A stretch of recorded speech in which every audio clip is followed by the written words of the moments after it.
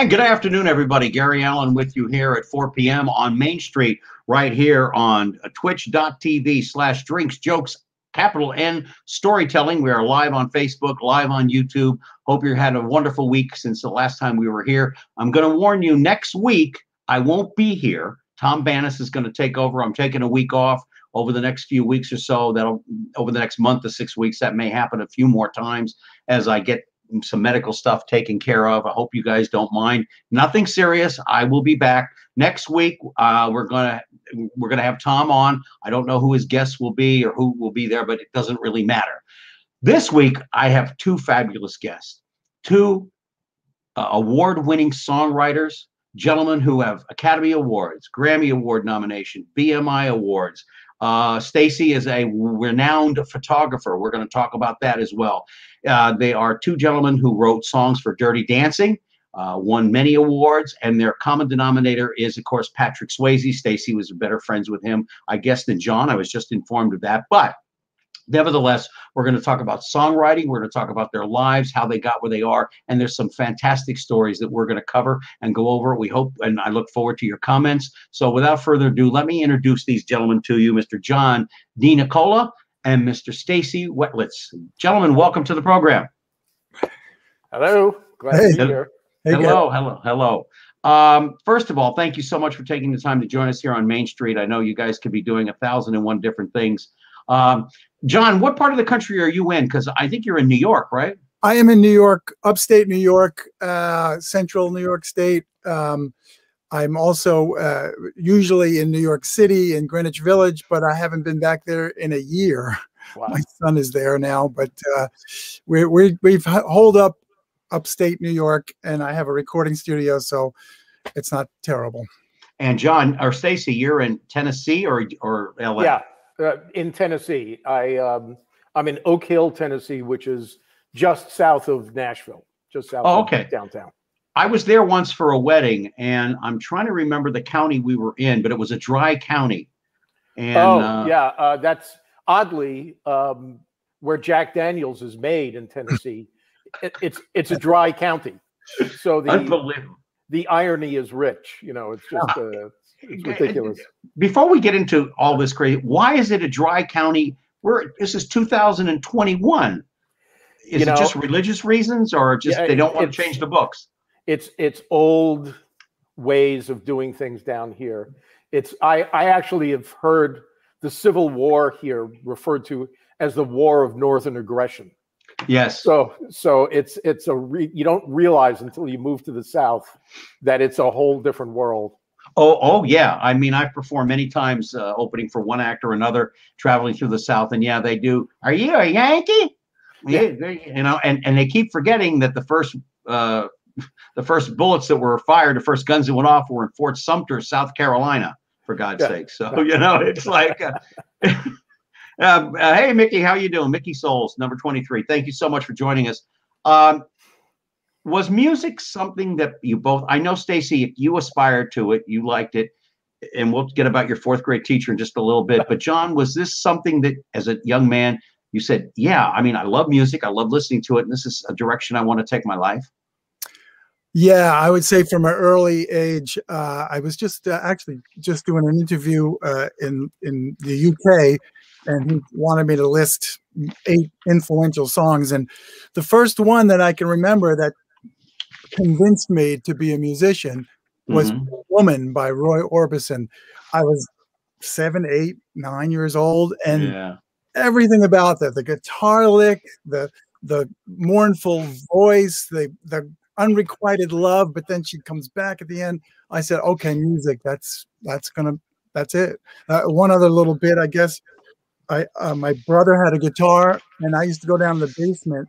Again, seven, eight, nine years old. Yeah. Pick the guitar. I didn't know anything on my left hand. I was just plucking the strings. And my I heard my mother from upstairs go, I, I think he sounds like he'd be good on guitar. And so that was it. I was just you know, ever yeah. since then, I've, I've been myopic and never doubted that I would do music. I love Roy Orbison's Black and White, the uh, performance that he did, and I presume it was probably in the South somewhere with all the no. famous people on stage with him. It was in. I was actually there for the. Oh, yeah, I was in the room. That's a great Patrick Swayze story, by the way, because Tell what happened.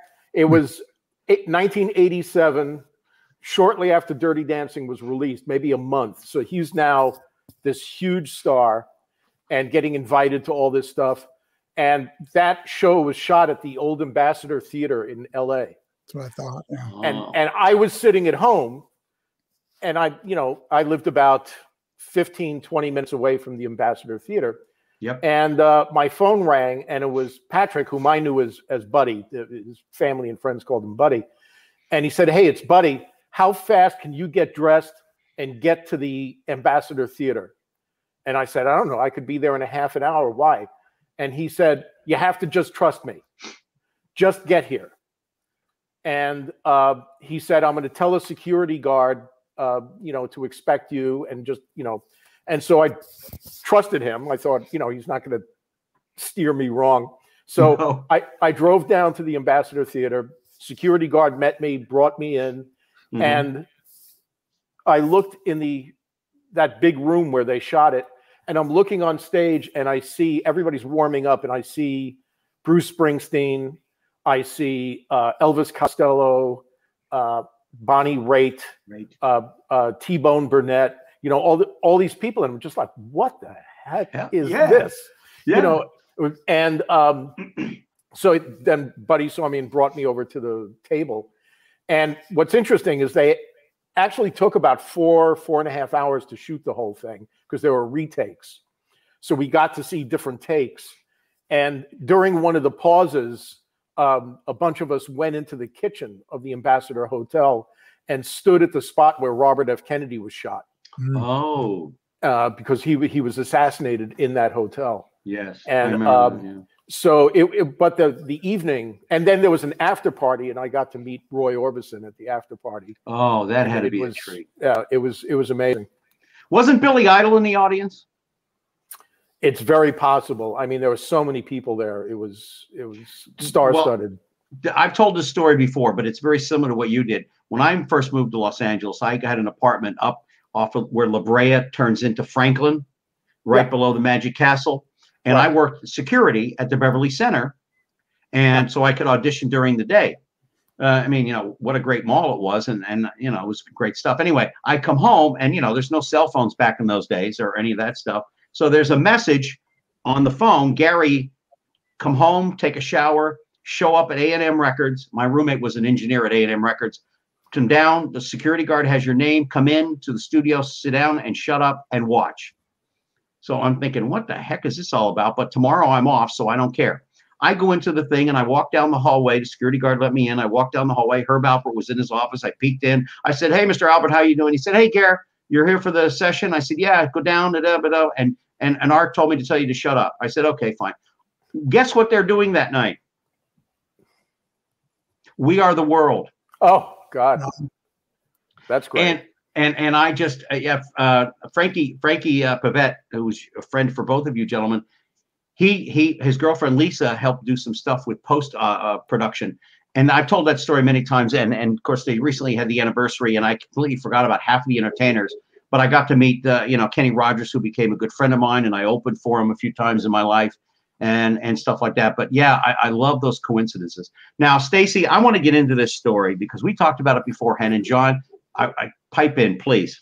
Mm-hmm. Your fourth grade band teacher told your mom and dad through a note, I believe, that you had no musical ability at all whatsoever. Talk about that story, please. Well, I had signed up for the band program, and um, you know the, the way they did it, they gave you a sheet, and you could mark down what instrument you wanted to learn. And so I put down as my first choice cello because I thought it was a beautiful instrument. Yeah. And I don't even remember what my second choice was. My third choice was flute. So of course I get assigned the flute. And I can't make heads. So my parents rent me a flute, you know, and I'm trying to practice it. I'm trying to learn how to read the music, which is all based on the fingering. And I can't make heads or tails of this thing. It made no sense to me whatsoever. You know, I, I might as well have just been swinging it like a stickball bat. And um, after about a month of struggling with it, the band director, Mr. Severoli, sent me home with that note. And uh, my parents were fairly horrified. Uh, but around that same time, my uh, father had picked up an old beat up upright Wurlitzer piano um, mm-hmm. and put it in the basement. And I started picking out tunes with one finger. You know, I could, you know, pick out the like theme songs for television shows and things like mm-hmm. that. And um, my cousin was a child prodigy concert pianist, and he was stuck at my house one time uh, in a snowstorm and gave me my first piano lesson. And it made perfect sense to me. All of a sudden, it all gelled yeah, yeah. because it was laid out logically. And he's the one that told my parents, get him piano lessons. He just went through 10 weeks of the method book in an hour. So it, you know, it was, uh, it, it was good to know that Mr. Severoli was actually wrong. So, and, and uh, which, go ahead, John. Well, I was going to say flute.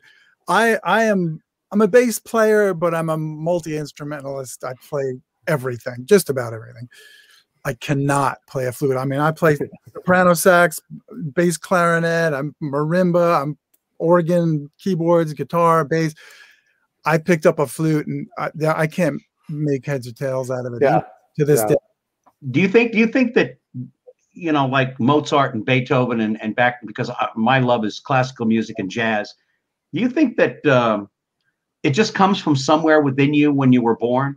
That ability to pick it up right away without any lessons. Where a guy like me, I'd be at this for 20 years and never catch up to either one of you on any of that stuff. I, I think that the ability to play an instrument can be taught. I think the ability to write music is inborn. Uh, that that is something that you either have. It's like comedians say: you're either funny or you're not funny. Not funny, yeah. And so you can either write music or you can't write music. Now, once you find out that you have the ability to write, of course, you can sharpen your technical skills with that. Um, and but if if you can't naturally write a melody. That that can't be taught. I don't know, John. You, yeah, I probably agree with that. Uh, it almost seems uh, it, it's hard to to imagine that. You know what I mean? It's like, like I I can't imagine what that would be like because it it it's almost seems like it's channeled. It channels through you somehow. Right. A Hungry Eyes, for instance, musically on on the music end of that, it it it was it was written in 10 minutes. It I kind of just played it down. I got a particular sound on an old Roland Juno 106 and it just played itself down. And I don't know, like, you know, you don't always get it like that. You know, a lot of times it's a lot of start, stop, figure out this, that, and the other thing. But once in a while, it, it does channel through. Uh, you know, I, I'd say it's happened like 10 times in my life where it just played itself down. But uh, Hungry Eyes uh, obviously landing somewhere nicely. But I, I, you know, I don't know what you think, Stacy, but I, I feel like it's almost you're almost a vessel for it. You know, I think you ingest years. You have to be interested in music, and so you ingest it, you ingest it, every kind of shape and, and form, and then it just kind of regurgitates out in a way. Yeah, yeah. I spent so much time. Uh, actually figuring out songs that I'd hear on a record and uh, that plus I was in a, a, a lounge band starting at the age of 15, right. playing stand, you know, Girl from Ipanema, you know, stuff like that. Oh. And so, you know, playing like standards and yeah. then figuring out pop and rock songs, and and I also got heavily into the blues. Um, that it, it's like you said, it's it's like swimming in your head, mm-hmm. and it shoots out in various ways. I can still hear a song today that that I listened to as a kid, and then I can draw a direct line from that song to something that I've written. Is it a compulsion once you learn the mechanics of it and you refine those to you? Is it like a compulsion, like an actor has to act? As a talk show host, I have to be talking to you. I love what I do. I mean, I was trained by Larry King, so I mean, you know, I I just, you know, it's something that's you know, I'm not, I wasn't a very good actor. By the way, the girl from Ipanema, I used to do a song on stage when I worked on the cruise ships. And you guys have heard this before, the girl from emphysema. Uh, we we did the girl from Hiroshima. so that, was, that was another one. yeah, it's it's funny, but is you know, John, you said something interesting uh, about songwriting, and Stacy, you may have said it as, as well. Um, is it uh, like comedy? You have there is a method to it. There's a rhythm to it. There's an understanding. And Stacy, I know you you love opera because you mm-hmm. you are in charge of uh, in Nashville the Opera House. Uh, you're on the board. John, I know you've been involved in other endeavors too. But jazz and classical music is the basis for everything that blanches out, which is I which is what I loved about the Beatles because they would go to places like that with the harpsichord and other things that they incorporated into their music. Is that a good basis for anybody who wants to be a good musician? Jazz and classical music, an understanding of the fundamentals. I, I think so. Uh, I would. I would also add uh, folk music uh, because you learn simplicity, and um, it's incredibly hard to be simple. Oh, um, and yeah, and um, I would also add show for me. Show music was very, uh, you know, theater music, Broadway stuff.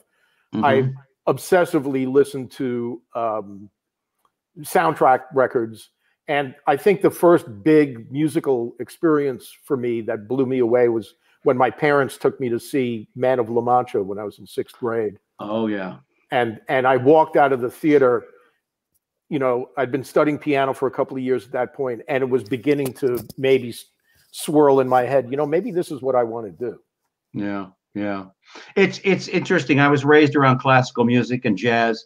My father didn't understand it so much, but my mother did, and my uncle, who was a stand-up comic, he did too. Uh, by the way, I want to remind everybody uh, you're listening to uh, Main Street. You're watching with Stacy Widelitz and John DeNicola, and we're talking about music, music writing. These gentlemen have won many awards, Academy Awards, Grammy nominations, BMI Awards, uh, and they do have the common denominator of having worked with Patrick Swayze on a number of uh, platforms, and we're going to talk about that as we continue to move forward.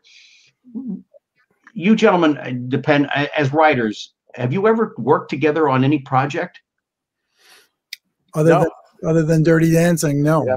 And we didn't really work together on that either. It was right, just right. secretly, but we ended up on the same record. And and there was a song. Yeah.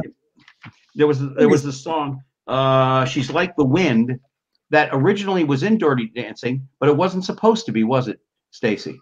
Well, it, uh, Patrick, Buddy, and I actually wrote it for a different movie. Uh, what happened was when I moved to LA, um, not too long after I was brought in to play piano for a friend of mine in an acting class, and that's where I met Patrick, who introduced himself as Buddy.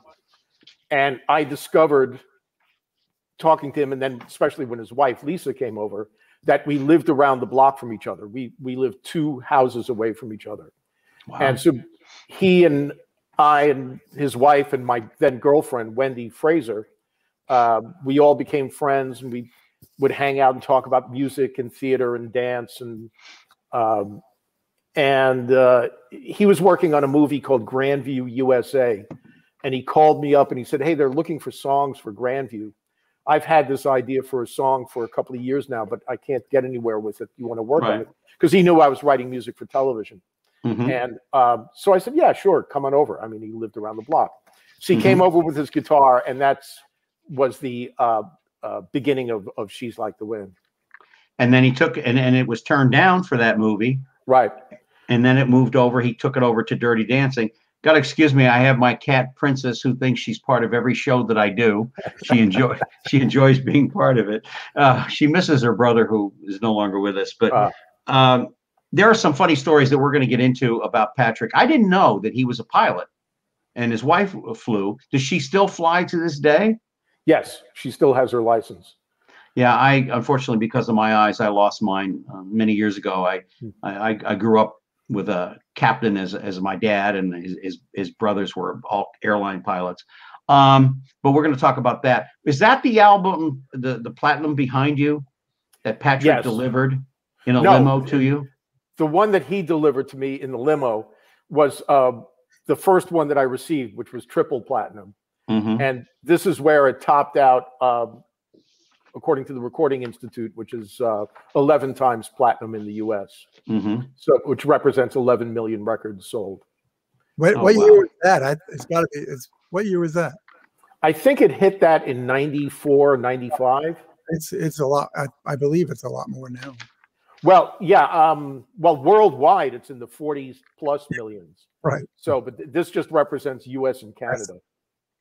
I gotta Actually, just U.S. Yeah. Yeah, and and and worldwide, God only knows what what it probably ha- has has probably done. Um, who were your influences growing up? I mean, and who are your influences even to this day? Uh, well, gosh, there's so many. It, it's um, I I tell a story of uh, I was about 12 years old and my cousin uh, ran a, um, a one stop out in Long Island, and uh, one stop is where all the mom and pop stores buy their LPs from. Right. And uh, my mom took me in there and said, "You can have three records." And um, I I got Moby Grape's first record.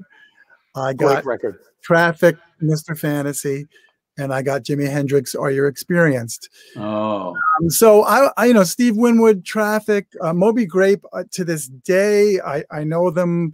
Uh, I, I, just did a record with one of the guys, Peter Lewis, who happens to be um, Loretta Young's son.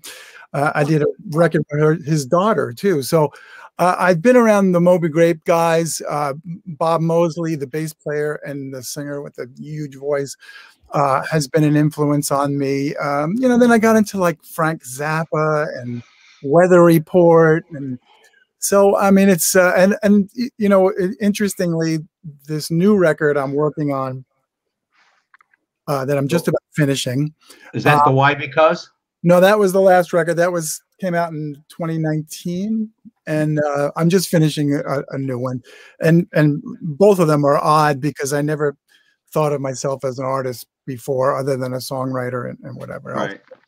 But um, I, am noticing. Uh, I'm trying to be sort of contemporary. There's a band called Tame Impala and and indie, you know, using a lot of synth stuff, and that's right. happening. But I realize how much melodically 60s and 70s soul r&b is coming through. I mean so mm-hmm. obviously you know stylistics and that kind of thing just had made a, a big uh, impact on on me as an artist. And and that's been the most fun doing a record at this stage of my career is i'm discovering who i am as an artist which is kind of fun because i never really knew until now.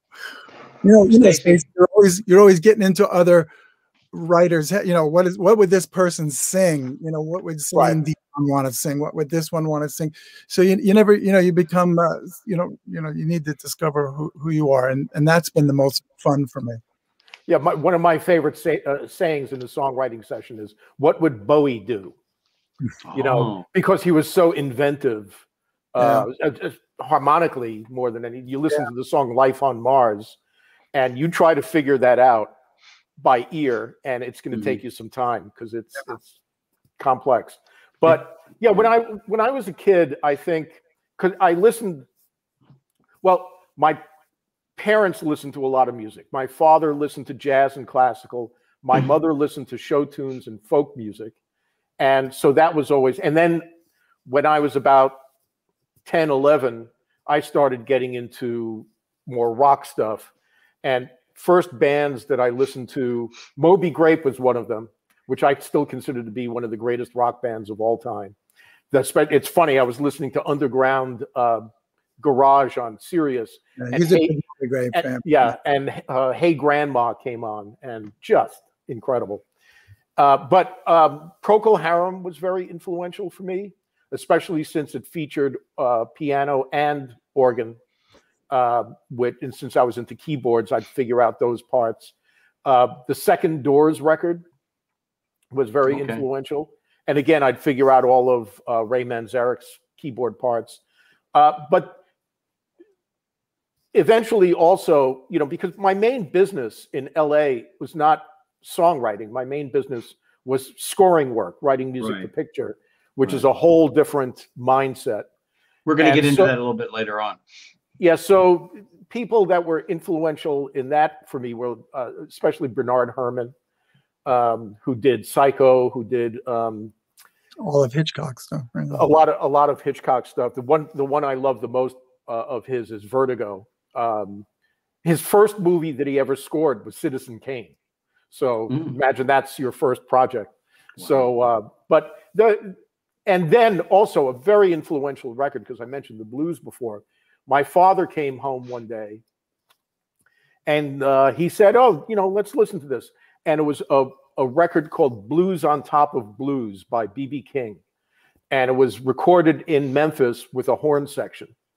And he, you know, put the needle on, and this band starts up where it goes ba da da da ba da ba da da da ba da da da da da da da and he starts singing "You're a Mean Heartbreaker," don't you know? And I sat there just stunned and listened to this record and I was listening to the keyboard parts, and I was thinking, I have to learn how to do do what that guy's doing with the piano mm-hmm. there. So that's when I really got heavily into listening to the blues. Yeah, yeah. I mean, and and if you listen to the English guys that came over here, the Beatles, the Rolling Stones, the blues, Muddy Waters was very influential to the yeah. Rolling Stones. Um, the Beatles often talk about that. By the way, John, I grew up with Jaco Pastorius. Oh wow! Uh, yeah, down in Florida, right? Yeah, yeah, in Fort Lauderdale. As a matter of fact, it's funny. A lot of the people that are good friends of mine to this day, Will Shriner from you know him from television and everything, and also a gentleman who you wouldn't suspect was an avid surfer. He used to surf with my brother almost every day that he could surf. Um, you would say, "Oh, there's a stuff shirt," but it was Kelsey Grammer. Yeah, interesting. He grew up in Fort Lauderdale, then he left after what happened to his family. Is a lot of your success for songwriters um, based on right place, right time, ready to uh, ready to do what was necessary. You know, opportunity meets preparation, kind of a thing. Yeah, I would say so. I mean, you know, I often think, uh, what would life have been like uh, when Patrick called me if I just said, "No, I'm tired. I don't feel like working on a song tonight." You know, it, it, would have been a whole different thing. Yeah. So, um, you know, that was definitely opportunity and being, you know, in the right place.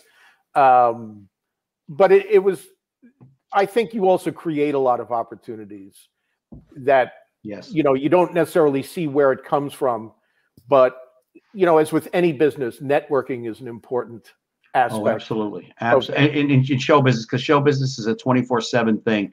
Yeah. And if you don't love it, you, you move on to something else because you're going to be concentrated on it all the time. John, for you, it's got to be the same same thing because uh, you know you won an Academy Award for two songs in Dirty Dancing.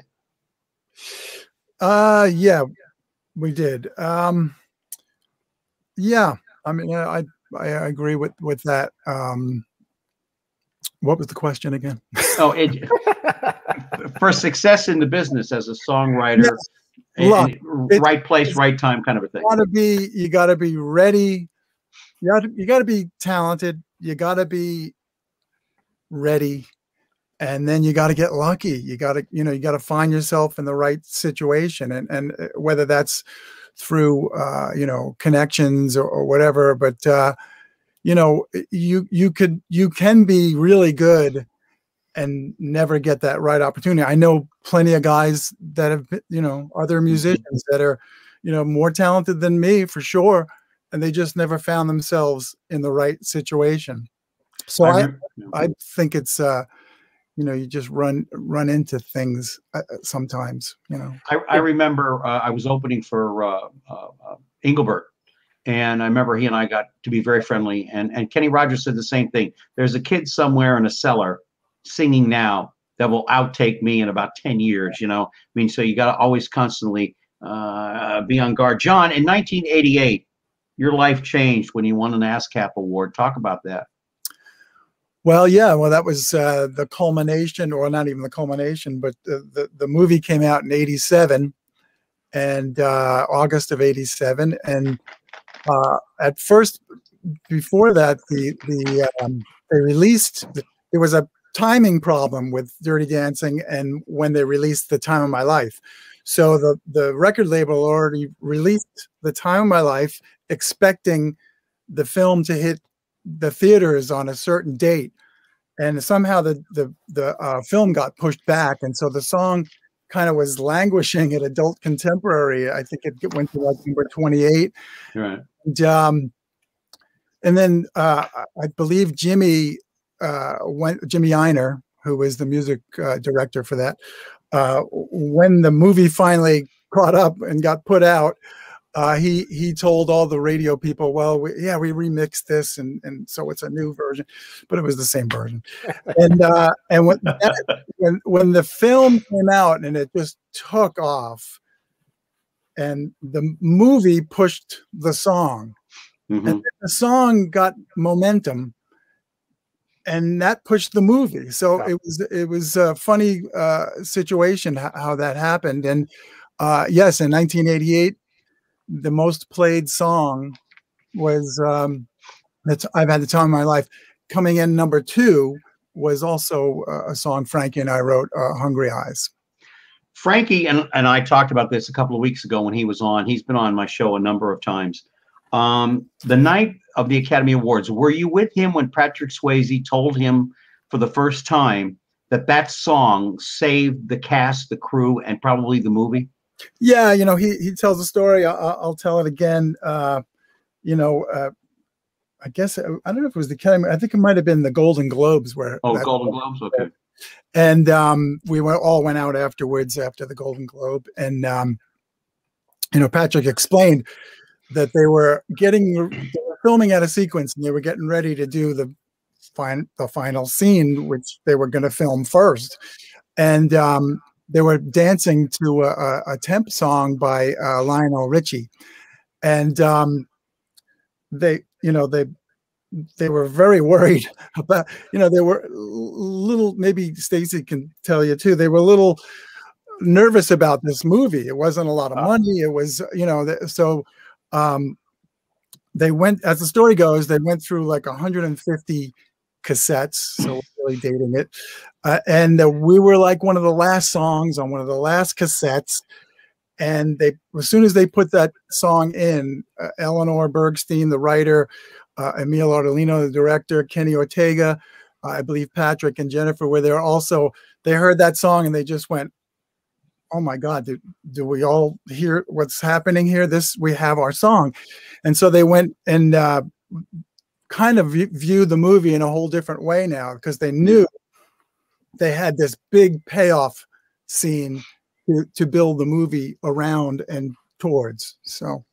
I mean the, yeah. the, the, go ahead stacy. No i was going to say that john's right. The the word on the street um, because by that point I was being represented by Triad Artists as a composer, as a scoring composer, mm-hmm. and the word through Triad. Patrick was also with Triad as an actor. So the, the, the what people were saying was this movie is a dog. It's uh, and also the production company had no experience with theatrical release. It was Vestron. It was known for videos. So what everybody was saying was it's going to go to the theaters for a week then mm. go straight to video and it's done. So by the time the movie was released, it was really off my radar because uh, I didn't really expect much from it. Although when I did go to the cast and crew screening in LA, um, I remember walking out of the theater with Wendy, and I turned to her. And I said, "You know, I actually thought that was pretty good. That wasn't nearly as bad as everybody was saying." And um, and then of course you know ev- everybody was proved wrong. It, it, it just exploded. To yeah. This to this day, they were proven wrong. I don't know, Stacy. Did you get to see? I saw the before they had the final edit, and um, we went in and saw it, and it was a lot longer. It was a lot steamier actually. There was uh, it was much. It wouldn't it wouldn't have been a PG thirteen. Um, and it you know it was it was good, but it was it felt you know, felt a little awkward at times and uh, a little long. And then when we went back and saw the edited version, uh, uh you know, we started to get excited. But yeah. Eleanor, Eleanor, Bergstein will tell a story how they were, the company Vestron was trying to uh, do a Clearasil acne commercial with it, or you know, just put it out, go straight to video, and forget about it. You know, and uh, yeah. she once again proved them wrong too. Yeah. Well, it wouldn't be the first time Hollywood was wrong about anything. You know, I mean, uh, you know, it wasn't very a Hollywood movie, right? It, drama was out of Connecticut and um, was filmed here on, on, the East Coast. So, yeah, it, yeah. it was it was just that it was so unexpected. I remember uh, the um, record producer who produced uh, "She's Like the Wind" and also "Time, Time of My Life," Michael Lloyd, um, called me uh, to tell me that I was going to get a gold record for the soundtrack. Mm-hmm. And um, uh, I said, "Oh, that's great," you know, because I wasn't really in the record business. So I said, "That's that's such a thrill." And like a week and a half later, I called him. I said, "When do I get the gold record?" You know, I didn't know how I didn't know how it works. So he told me, he said, "You're not getting a gold record." I said, "Why? You told me I'm getting a gold record." He says, "Because now you're getting a platinum record." Uh.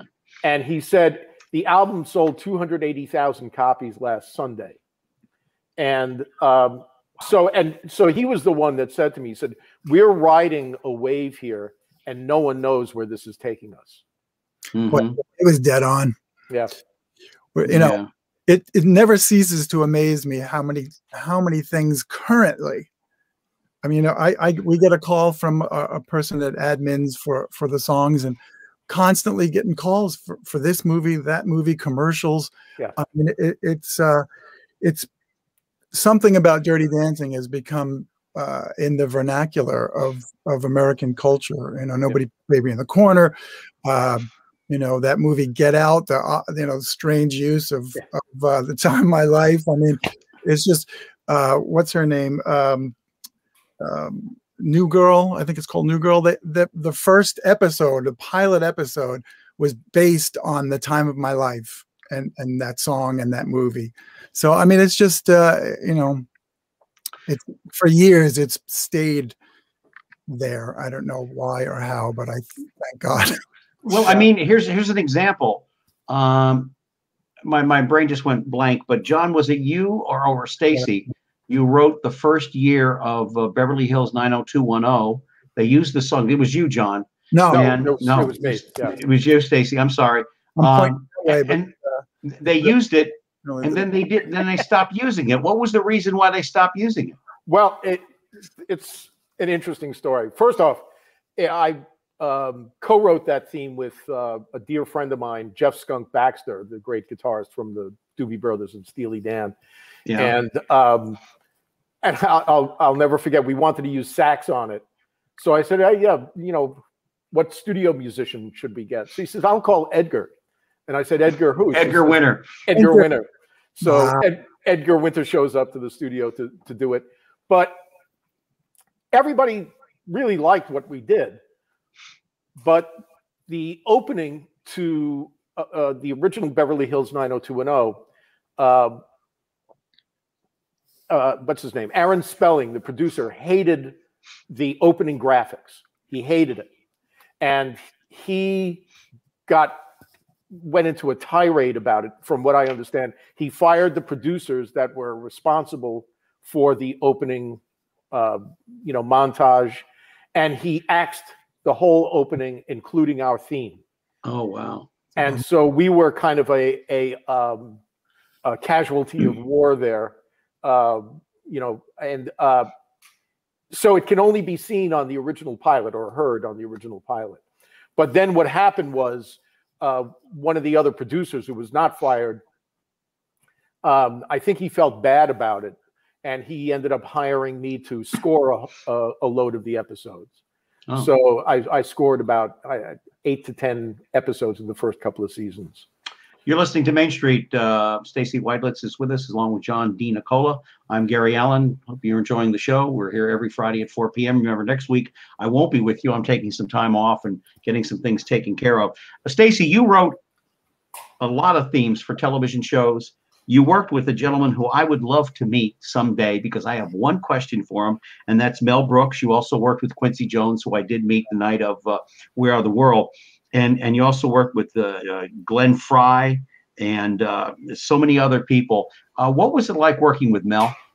Well, I I didn't actually work with Mel. I got to sit with him in his office and talk with him for an hour and a half because I was up for a film that he was producing. However, I did work with his wife, Anne Bancroft. Oh, yes. Uh, three years prior to that, uh, on a on a show that ABC did, they tried to revive the old um, satirical show. That was the week that was. Oh, and yes. so the the co-hosts were David Frost, the original host, and Anne Bancroft, and I wrote um, music for the show, kind of music directed the show, and uh, uh the producers called me one day. and Says Anne's going to do a, a, satirical song, uh, and we want you to accompany her on the piano just off camera. So you have to go to her house and you know work with her. And she was unbelievably gracious Mm-hmm. But what, what was funny that tied into my conversation with Mel Brooks was at one point she was reading cue cards, and this is the Reagan era. And so, and she said, and President Ronald Reagan said, and the direct director stopped her and said, and we got to back up. And she said, why?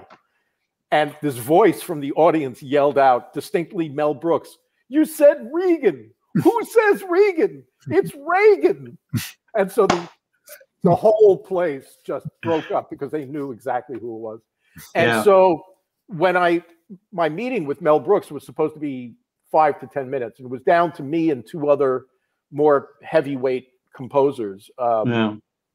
And uh, but I sat down in, in his office and I said, you know, I I rehearsed at your house with your wife, and he said, "What do you mean?" I said, "Well, for that was the week that was," and he says, uh, he said, I was in the audience. I said, I know. Everybody knew you were in the audience because you yelled at her.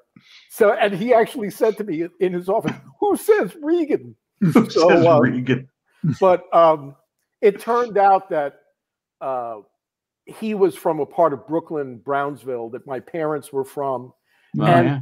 and even though I, I, I, didn't get the movie, um, I call it my greatest rejection ever because it was just such a pleasure because he, he was one of my idols from the 2000 year old man also yes. the producers and young frankenstein are my two favorite comedies yeah and um, so it, eh, sitting and talking with him was just fascinating yeah. Um, what was the movie it was the fly 2 because i was being typecast into horror movies mm. and uh, it was actually a very grisly movie um, and so really? in a way i was almost glad that i i didn't get it because I'd have been gut wrenched for about a month working on that thing. I I only want to meet him to ask one question in the movie Blazing Saddles. Uh, when they get to the point, well, would you give me 24 hours? We won't even give you whatever. Will you do it for? Uh, I, I forget the the cowboy's name that they used, and I thought, why that one instead of John Wayne or who oh, Gibson or some? It's Rand- Randolph Scott. Now I know Randolph Scott was a huge star. Yeah, he's a huge star. But I was just wondering if that was one of Mel's favorite things. Mel talks about and and and and there was a couple that no one ever figured would get along. It's like it's like the love of my life, who I never got to meet, Suzanne Pleshette. She was married to uh, the gentleman who was on Newhart uh, as the when he uh, he did the Country Inn. When he did the Country Inn, he was the maintenance guy. Ah. You know, two people all. Uh, you also did an animated picture, which I'm fascinated because I love animation, called Cro, about when you get called in, and John, I don't know if you've ever done any animation at all whatsoever as far as scoring, but when they call you in, do they have a storyboard in front of you like they do for the voiceover actors to kind of say, this is what we're thinking of and this is the direction we're going in? Sometimes uh, animation is done like that. Um, actually, in the classic Warner Brothers cartoons, Carl Stalling, who was the, the great composer, uh, didn't even have a storyboard. He had a script and um, he'd write the music to the script so that and they'd animate to the music and the voiceovers. Wow. uh, and it in the case of Cro it was done more traditionally for scoring where they delivered me the picture with time code and i sat down and i wrote my score to the to the picture. I also wrote the uh, the opening title song for for the show yeah. uh, which was it had to have lyrics. And the the story is so convoluted in a way. It's it's about a Cro-Magnon boy who's orphaned and uh, is adopted by Neanderthals who are kind of goofy, and he befriends a woolly mammoth named Phil, who lives in a town called Woollyville that's filled with all these very scientific, educated mammoths. Yes. Phil Phil falls into a glacier, is frozen in time, and is thought out in modern times by a scientist, uh, a Latina scientist named Dr. C. And this whole story, this whole story, Sounds be, awesome. it, it had to be told in a 58 second opening song. Mm-hmm. So my my first lyric that I wrote was um, Cro uh, was a smart boy, had a lot on the ball, but the family that took him in was total Neanderthal. And so then, then we were off and running. Oh I'm God. Where, where, where- can you see that on like uh, um, Netflix? or- Not on Netflix. You can find episodes on YouTube. Oh, it's Uh, episodes. yeah. A bunch of shows. Yeah. It- it- yeah, I did two seasons. Not a of it. movie. Okay. Yeah, and it's um uh, and each episode had a scientific concept delivered in entertainment form. Wow. because because the two production companies were Film Roman on the West Coast, who did The Simpsons, and um, Children's Television Workshop on the East Coast that did Sesame Street. yeah. Um, and so Sounds it was it was a really it, it was very difficult. I mean, for three months, I woke up every morning. I would I had to write 22 minutes of finished music for every episode because it was wall to wall, as we say, you know, constant music. And the next day, get up and start the next episode. And that was my life for about three months. It was it was grueling. what did you What did you do after that? For three months, you took a vacation. Yes, I went to Hawaii with my my then girlfriend Karen, Uh, and uh, so uh, matter of fact, I had one day off in the three months that was accidental because they delivered me a bad tape, Hmm. and so I took that day to go to a travel agent, and I said October uh, October twenty second, I want to be sitting, staring out a window at the South Pacific with a cigar in this hand and a brandy in the other hand. Can you make that happen? And, and she did actually. yeah. Did you do that mostly uh, when you approach something like that? Are you mostly sitting at the piano or keyboard or? It, Or- it uh, the th- basic thematic elements I tend to come up with at the piano, um, and an acoustic piano, which I'm sitting at right now.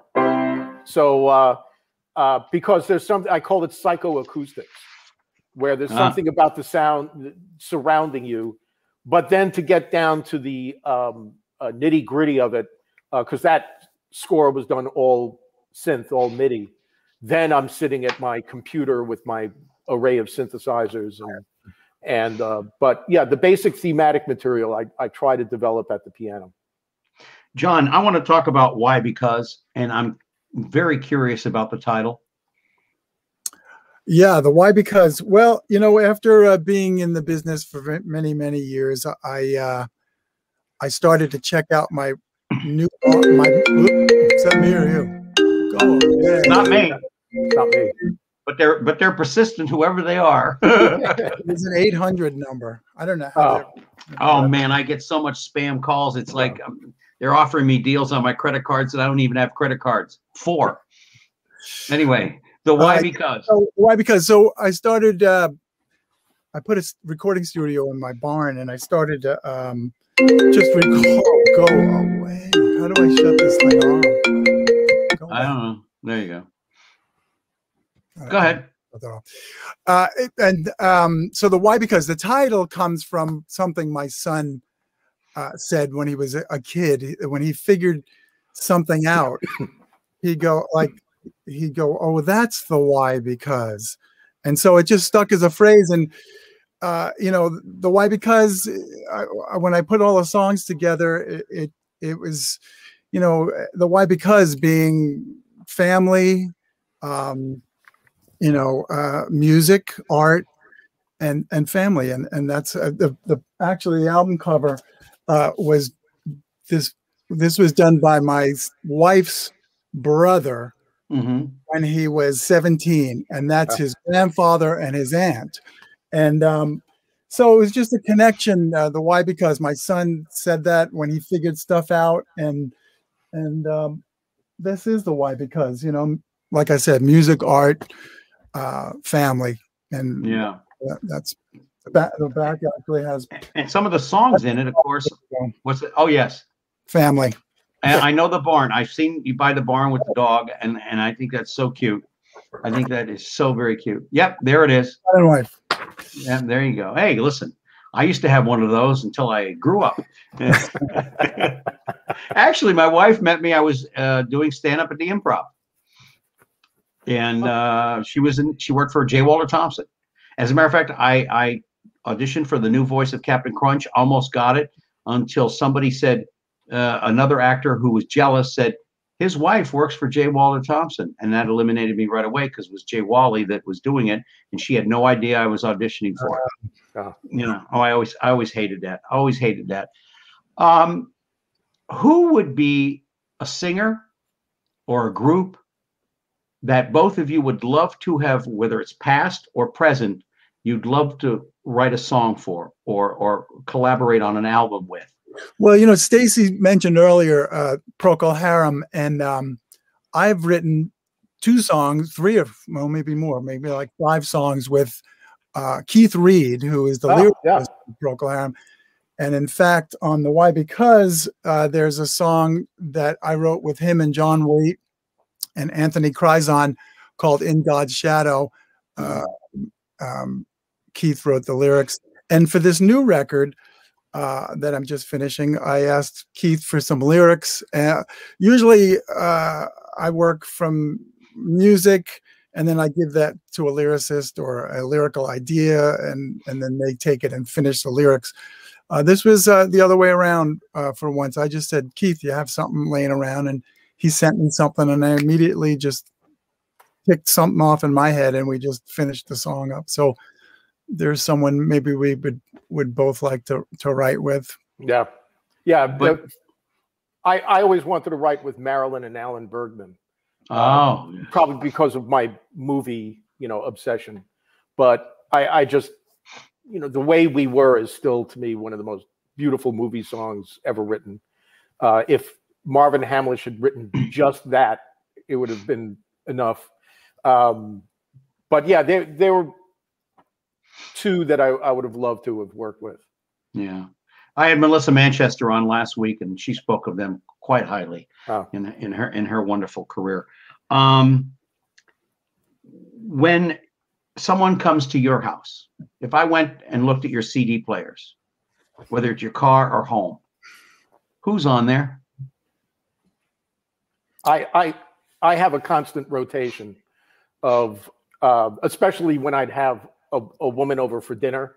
This was my setup, and uh, one of them was uh, it is um, Frank Sinatra sings for "Only the Lonely," which oh. is when he did all ballads. Nelson Riddle doing the arrangements, which were incredible.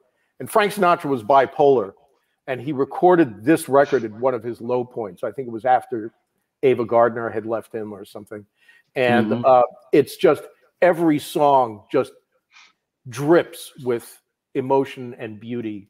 And so that's one. And then uh, an Ella Fitzgerald um, uh, American Songbook. Oh yeah, yeah, yeah. I mean, I I don't listen to CDs. I have vinyl. I have a, a record player in almost every room, everywhere I go. I just love vinyl. Right.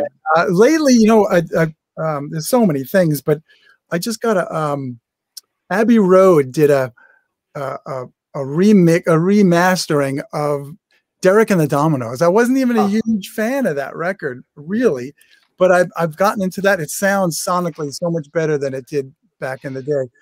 Uh, so uh, that, um, you know, I'll always have a traffic record on. Uh, um, you know, kind of all over the place. Uh, John McLaughlin's record, "My Goals Beyond," is mm-hmm. Probably gets the most airplay. I've been listening to a lot of Soft Machine lately. If you remember them, they're yeah. obscure. Yeah. Laura Nyro.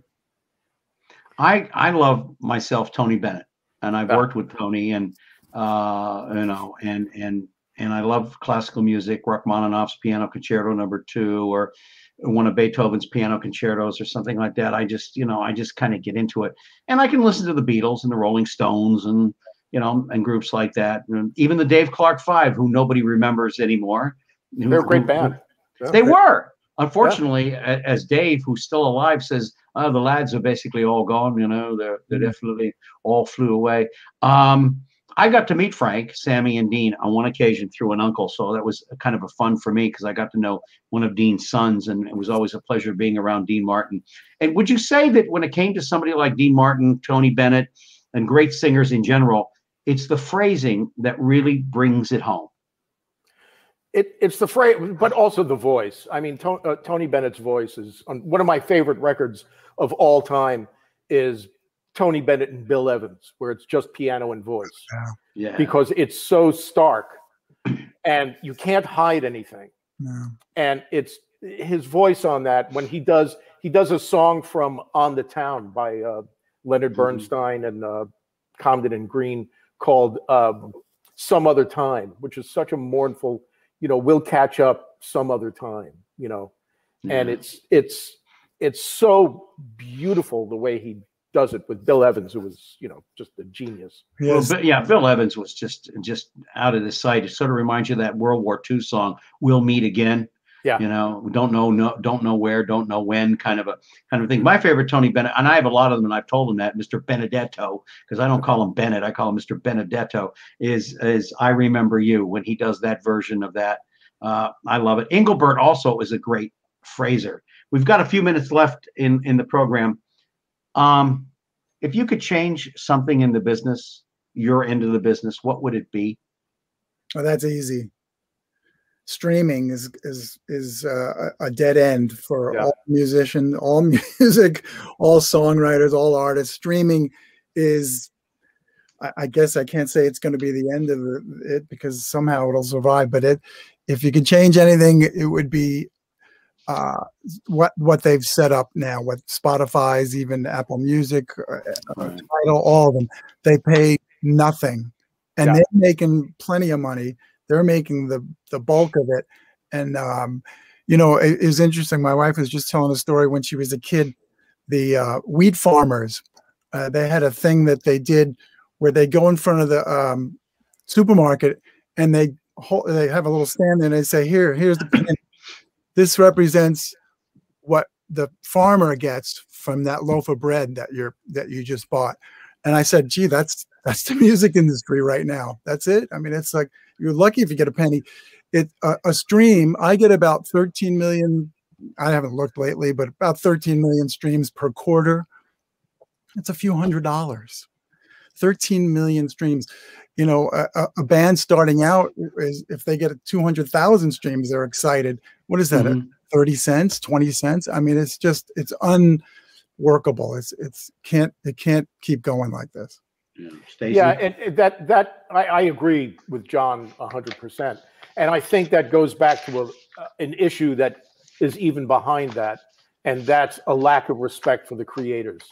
Yes, uh, that you know that it's one of the reasons that attracted me to Nashville and why I moved here was that I suddenly found myself in an environment where the people that write the music are getting some respect uh, and and are held in high regard, no matter how old or how young they are. Yeah. And um, but this, you know, attitude of music is free or almost free is, is has been um, killing the industry. It's unsustainable. Yeah. Do you think it? You think it has a lot to do with the push button society that we live in? Garbage in, garbage out. I don't yeah, know if it's short, short attention spans. Yeah. yeah. Yeah. I mean, because it seems like in, in, in as far as actors are concerned, like I watched about 10 minutes of the Academy Awards. Number one, I didn't think it was a great production. But number two, I didn't see any of those movies. And because of COVID, I'm sure most people didn't. I don't know. The actors don't seem to have any staying power anymore. I don't know if that's a product of Hollywood or whether it's a product of the fact that it's it's like it's like it's like a friend of mine who was on a soap opera for many years, Tony Geary. Uh, he was on General Hospital, and uh, he played Luke. Yeah. And um, he said to me one day, we were sitting, and this is 30 years ago, and he said to me, he said, you know, this business is getting to be like the porn industry. It's like fresh faces every day. Got to have a fresh face, new actor, new actress. As soon as they get to be a certain age, you're pushed out. You know, regardless of your ability. And he says there's no staying power anymore. Everybody wants something new, the new this, the new. I mean, how many new iPhones and how many new gadgets on those phones are really going to be different from the one that you already currently have? Man, yeah, it, it's funny. Uh, years ago, I met with a, uh, a, music supervisor at one of the, the film studios uh, at Warner Brothers, and he was when I was kind of starting in the scoring work, um, and uh, he said to me, he said, "Here's your career in five steps. Who's Stacy Widelitz? Get me Stacy Widelitz. Stacy Widelitz is too busy. Get me somebody like Stacy Widelitz. No, I'll pass on Stacy Widelitz, and then the last one is who's Stacy Widelitz. So you know, it's just you know that that circle. So it, yeah. it, it it's you know, something that you have to um, expect to a certain degree, but the the ageism in the business has has gotten bad. Imagine if has been that. yeah. One one last question before we go. Um, what advice would you give to anybody out there who is sitting and watching, or they want they, they think they can write music? Just get out there and do it. Go ahead, Stacy. Um, I would say I'll, I'll, never forget when I started lessons with a classical teacher on Long Island when I was in ninth grade. Uh, he had me take up a, a, Chopin mazurka, and he wrote at the top, "Be intensely self-critical." And it was actually great advice um, yeah. because you've got to really analyze what you're doing and look at it and compare it to what's marketable out there and what people are making money at and and be very very self-aware and self-critical. At the same time also not being intimidated by competition. And that's yeah. another thing that i would say is don't think about the competition. Think about yourself. Yeah. Yeah. I would say you probably if you're going to do it it's probably because you have to do it.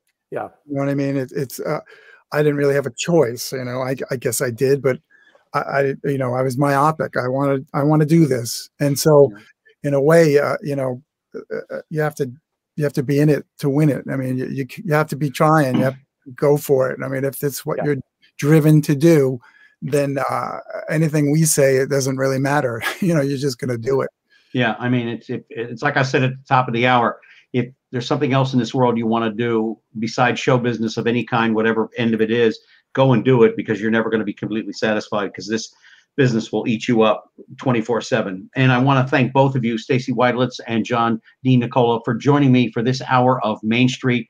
You guys have been great. I hope you enjoyed it. Stay on there. We'll talk right after the show. And to all of you out there, I want to thank you for joining us here on Main Street. Remember, next week at four, I'm not going to be here. I'm going to be somewhere else doing something, but I'll be back in a, the week after with uh, Jeffrey Mark, who is a walking encyclopedia of Hollywood knowledge. I want to thank you all for joining me here this Friday. And until next time, take care of yourselves and each other.